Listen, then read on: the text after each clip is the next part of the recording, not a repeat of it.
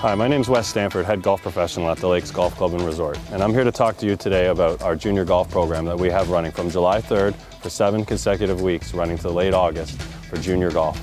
Uh, the program will run from 12.30 until 3.30 every Wednesday, and we'll be covering skills such as fundamentals to the game, life skills, personal skills, and much, much more. I want to give a special thank you to Sydney Credit Union for being our sponsor this year. We wouldn't have been able to do this without you, and we look forward to seeing you out at the lakes.